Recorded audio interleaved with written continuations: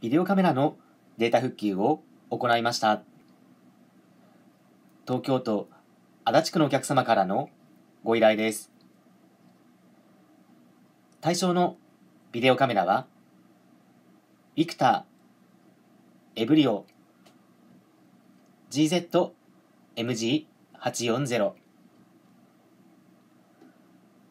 パソコンにつないで作業しているときにデータがすべて消えてしまった。パソコンからビデオカメラを見るとドライブ名が IOHDD と表示されているという状況です。データ復旧処理を行い、14時間2分の動画データの復元に成功しました。